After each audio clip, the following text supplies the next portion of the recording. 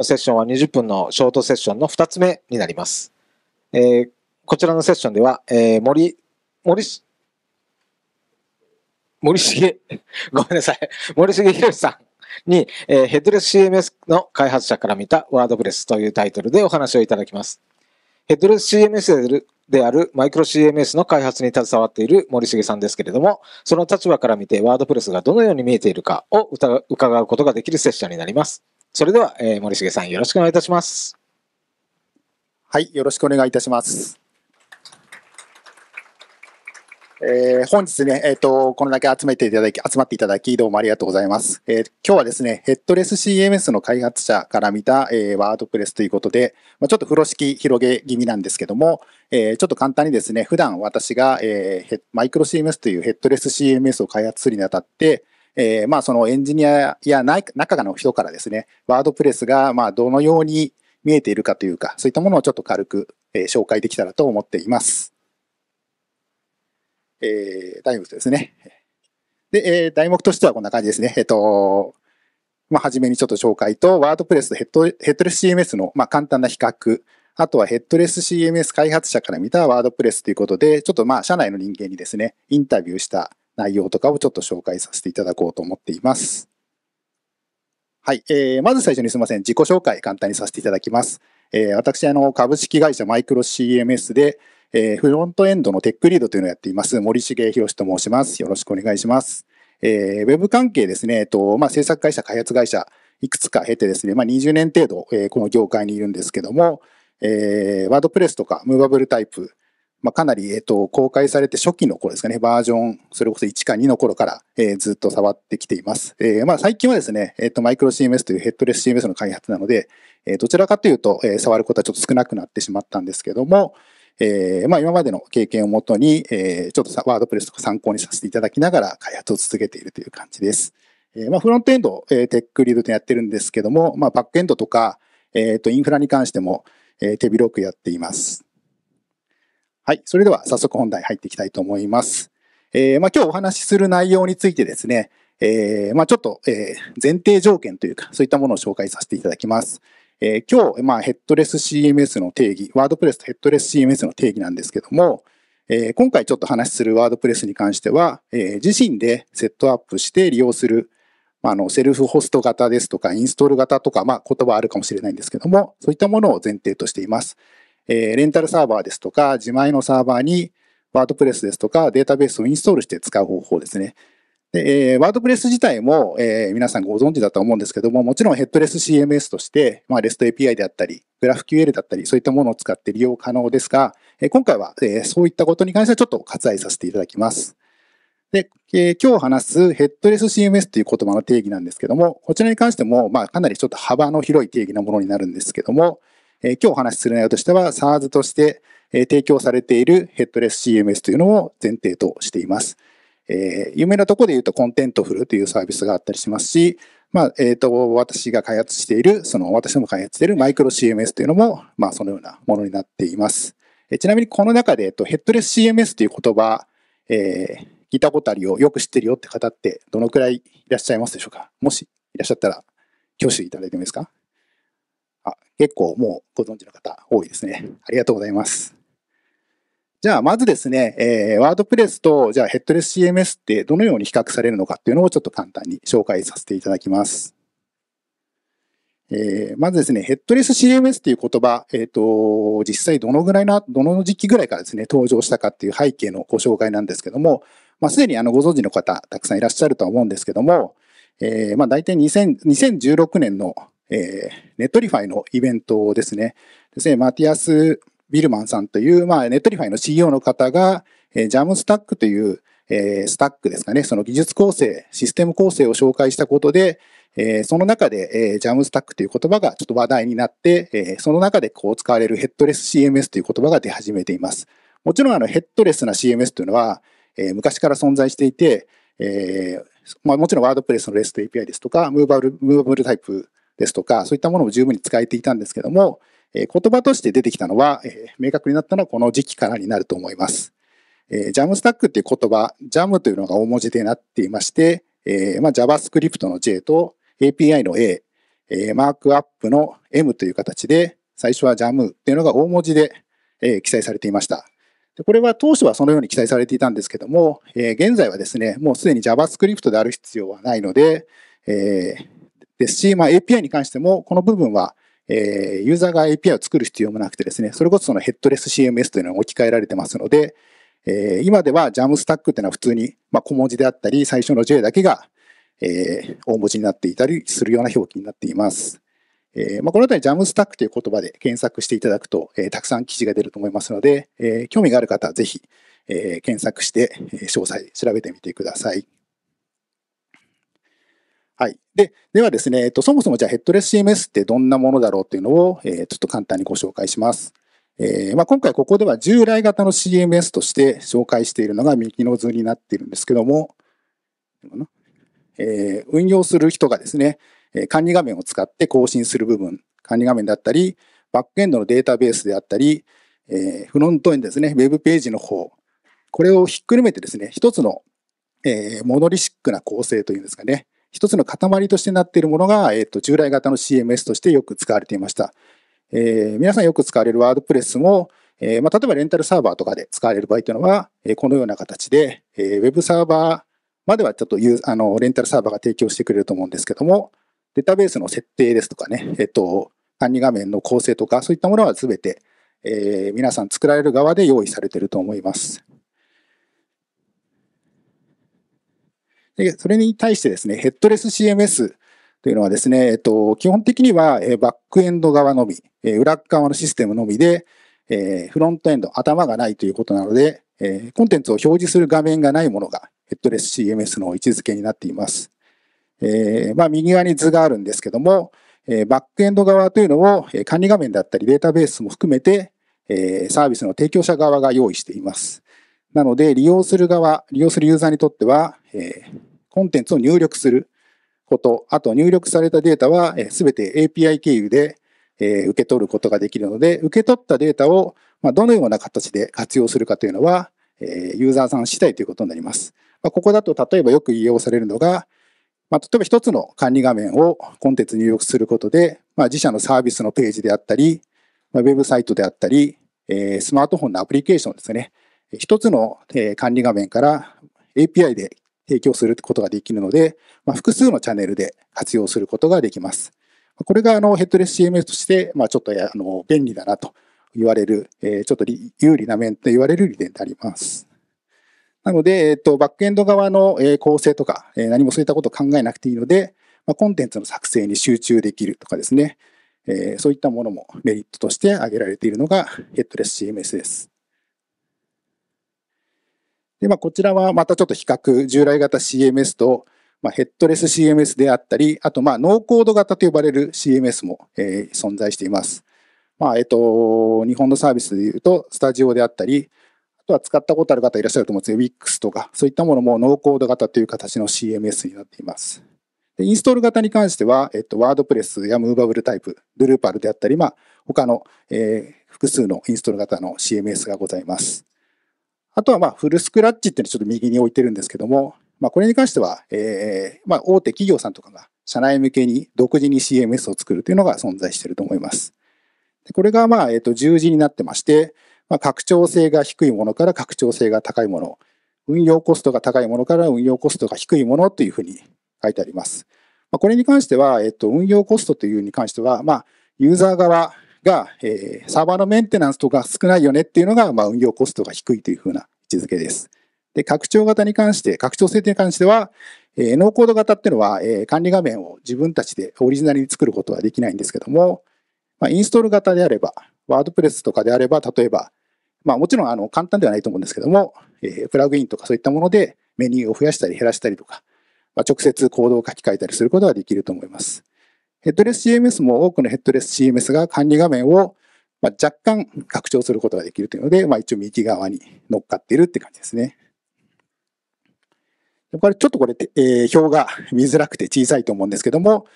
まああの、ヘッドレス CMS とインストール型、ノーコード型、フルスクラッチ型っていうのの、まあなんとなく優位性というのを示した図になってます。こちらは、えっと、別途資料とかアップロードした際に見ていただくとわかります。ここでですね、えっと、今までちょっと紹介させていただいた中で、えー、まあ、クラウドとかのサービスをよく利用したことある方だと、えっ、と、責任共有モデルという言葉、えー、もしかしたら聞いたことあるかもしれません。えー、ヘッドレス CMS のサービスに関しても、まあ、同じような見る見方っていうのがありまして、えー、左側ですね。左側に関してが、えー、どちらかというとインストール型、まあ、ワードプレスとかでよくある形です。でこの、えーと、色がついている部分が、えー、ユーザー、作る側が面倒を見なくてはいけないものですね。何か起きた時に、えー、サポートしなきゃいけないもの。で、えっ、ー、と、グレーになっているというか暗い部分が、まあ、レンタルサーバーであったりとかすれば、えー、面倒を見る必要がないものになってます。えー、例えば、ワードプレスであれば、ウェブページ、フロントエンドであったり、まあ、管理画面、あとはミドルウェアですかね。えっ、と、ウェブサーバー、アパッチであったり、エンジン X であったり、あとは PHP のバージョン管理、データベースのバージョン管理だったり、バックアップというのは、えー、インストール型であれば、ユーザーが、作り手側が面倒が見る必要があると思います。逆にあの右側に関しては、えヘッドレス CMS、SARS として提供されているヘッドレス CMS です。えこちらに関しては Web フロントエンド、Web ページのみが、えユーザーの責任範囲になります。えその分管理画面やミドルウェアとかそういったものに関しては、サービスの提供側に全て任せておけばいいという形です。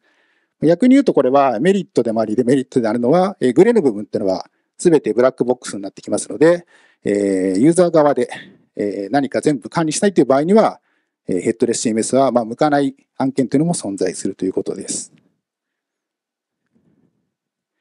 はい。で、えここまでですね、ちょっとなんとなくワードプレスとヘッドレス CMS 比較っぽいような、え情報を出させていただいいただいたんですけども、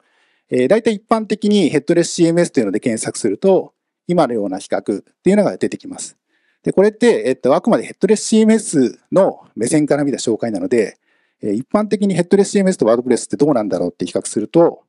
えー、なんかですね、えー、圧倒的にヘッドレス CMS が優位に見えるっていうのが、まあ、なんとなく今までの情報でも感じ取れたんじゃないかなと思います。で、ただですね、えっと、これ結構見方が早まってるというか、まあ僕らサービス提供してる人間からも同じような資料を提供してしまってるので、えー、まあちょっとずるいような資料になっちゃってるんですけども、えー、まあそもそもですね、比較するレイヤーというかですね、カテゴリーが違っていて、えー、同じ物差しで、えー、ワードプレスとヘッドレス CMS というのを比較もの比較できるものではないというのは、えー、前提に見ていただければと思っています。えー、例えばね、車の操縦性の比較するのに、えーと、同じ車、車両、車種同士ですかね、コンパクトカー同士で比較して、どっちの操縦性が比較するっていうのは当てになると思うんですけども、えー、ヘッドレス CMS とワードプレスっていう言葉同士で説明するなら、まあ、ワードプレスは自由に動ける車だとしても、ヘッドレス CMS はある程度レールに乗っかった、まあ、列車のようなものだと思っていただければいいと思います。なので、えー、それのですね、操縦性の比較っていうのは、厳密には何もできないので、えー、まあ一般的になんかお客さんからヘッドレス CMS っていいらしいじゃん、なんかそっちに移行させてよとか、そういった話があったとしても、えー、見方に関しては、えっと、必ずしもいいものではないということを理解しておいていただければと思います。なので、えー、それぞれですね、相反するものではなくてですね、えー、使い方によって、まあ、何が必要なのかっていうのを、えー、作り手側もよく見極めていただければと思ってます。はい。で、ここから、えっ、ー、と、これだけ引っ張っておきながら、やっと本題に近いような内容なんですけども、えー、ここからちょっと軽く、えー、話を進めたいと思います。次にヘッドレス CMS 開発者から見たワードプレスということです。えー、主にですね、えっと、ちょっと私たち社内の人間の意見とかがメインなので、まあ、他のヘッドレス CMS 開発者は、えー、どこまで同じような内容を見てるかというのは、ちょっと保証はできないんですけども、えー、我々が見てる中としては、まあ、主にワードプレスというのは、えーまあ、CMS という言葉の中からするとですね、えっと、ベンチマークというかリサーチ対象として考えています。えー、やはりですね、えっと、先ほどお話しさせていただいたように、ヘッドレス CMS ってなんかいいらしいじゃんみたいな、えー、結構そういったお客さんが言えまして、えー、ヘッドレス CMS に移行したいっていう、えー、問い合わせを相談を受けることがあります。なのでそういった時にお客さんが今までワードプレスで何を苦労されたのか、えー、逆にヘッドレス CMS に移行してメリットがあるのかというのを、えー、リサーチする対象として、えー、調査したりもしています。あとは、えー、それぞれのできること、できないことですね。えー、ワードプレスでできることっていうのは、まあ、えっ、ー、と、作り手の活用の仕方によって結構何でもできるってところはあるんですけども、ヘッドレス CMS に関しては、えー、管理画面とかも含めて、えー、ある程度こちらが事前提供するもので、できないことというのは結構多数存在したりしています。で、ワードプレスに関してあとメリットというか、こちら側が気になっていることとしては、やはりよく使われる機能やプラグインがまあ膨大であること、あと導入事例が膨大であること、えー、あとデータの持ち方ですね。えっ、ー、と、データベースの構造、ワードプレス、まあ、えっと、構造自体というか、テーブル自体はシンプルだと思うんですけども、中身は結構複雑なデータの持ち方をしてたりしますので、まあ、それをどうやって、じゃあ、え、扱えるのかっていうのを調査したりはしています。で、次にですね、えっと、私がちょっと社内にですね、このイベントに出るにあたって、事前にインタビューさせていた内容も紹介したいと思います。えー、まずですね、エンジニアから見たワードプレスの世界ということで、え社内の開発しているエンジニアだったり、サポートのエンジニアに、まあいくつか、えー、とコメントをもらいました。で、ちょっとなかなか、えちょっと攻撃的な意見も多数あったので、それはちょっとカットしてるんですけども、えちょっと柔らかめの意見だけですね。はい。で、まず、まあ、えっ、と、エンジニアから見たワードプレス。まあ、実装いらずで、えクオリティの高いサイトが作れるので、ターゲット幅、ターゲット層が幅広いと。まあ、あとテーマが豊富。えデザイン、レイアウトが自由に作れるように。あと、まあ、何より歴史があり、様々な活用方法や Tips が豊富にある。これは、えっ、と、皆さんも活用する際に、え、よく感じていることだと思います。あとは、えっ、と、ちょっとまた違った目線としては、利用者と開発者で見えている世界が違う印象があるっていう意見も出てました。ワードプレスの利用者っていうのは、どちらかというとなんか安く作れる、低コストで多機能な便利なサービスが何でも作れちゃうよっていうなので、なんかちょっと低コストってとこに置いちゃってる、えお客さんが多いなっていうイメージ。ただ、開発者にとっては意外とメンテコストだったり、やりたいことをやろうとすると、え意外と大変だよっていう、そういった苦しんでる人が多いっていうのを感じるような意見も出てます。これ皆さん、えっ、と、もしかしたら、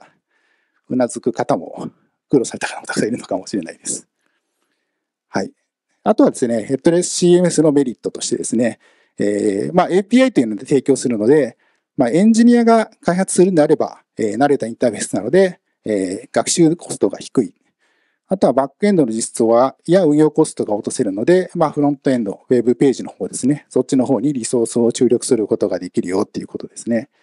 あとは、えー、まあ、SARS で提供するので、もちろんサーバーの構築の手間がないというのは、えー、メリットかなと。逆にデメリットに関してはちょっと同じような形になっちゃうんですけども、え、やっぱエンジニアリソースが常に必要になる。特にフロントエンドのエンジニアの数が結構必要になる案件が増えてきます。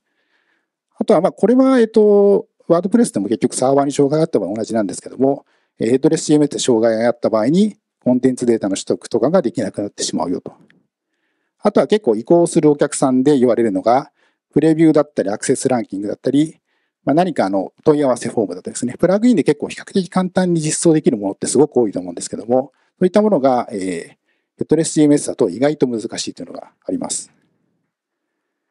逆に、えー、ワードプレスの羨ましいところみたいなところで聞いたのが、えー、管理画面の拡張性というのが何よりもよく上がっていました。まあ、こちらは、えーと、ヘッドレス CMS だと管理画面、半ばちょっと固定に近いものになるので、えー、ある程度自由に管理画面が拡張できるワードプレスってすごいなっていう意見があってます。あと、まあ、もちろん歴史が長くて、機能やコミュニティが成熟している。まあ、今回のようなイベントが存在していたりとかですね、えー、情報っていうのがすごくたくさん存在していると思ってます。ただ、まあ、OSS のため、まあ、究極的には、コードがそう、あの、コードを変えれば、自分でいかようにも活用することが、まあ、できなくもないという点ですね。あとはフロントエンド、バックエンドっていう枠あの枠組みがですね、基本的に存在しないというところもあると思います。えー、テンプレートを加工することで、えー、バックエンド側と、まあ、密に連携することができるところです。あとは、えー、事例の豊富さですね。えー、まあ、大体こういったことやりたいなって調べると、まあ、大体先行事例が存在してるなと思ってます。はい。えー、ちょっとだいぶ駆け足でちょっと紹介させていただいたんですけども、えー、まあ、以上のような、えー、意見がいくつか出ました。まあ、あの、突っ込んだ意見に関しては、また、あの、時間よろしければ後ほど直接問い合わせいただければと思ってます。はい。えー、最後ちょっと、まあ、総括というかまとめなんですけども、まあ、これはちょっとエンジニア目線としての意見になってしまうかもしれないんですけども、えー、まあ、ワードプレスとヘッドレス CMS、えー、どちらが有意義とかそういったものはもちろん存在していないと思ってます。なので、えー、まあ、本質は何かを見極めて、えー、まあ、適材適所ですね。お客さんの要望にあって適切なものをですね、えー、作れるように技術選択する必要があると思ってます。あとですね、ワードプレスに関しては、えー、今、えっ、と、ただの CMS というなんか位置づけからですね、もうここ数年、えー、プラットフォームとしての位置づけに変更しつつあると思ってます。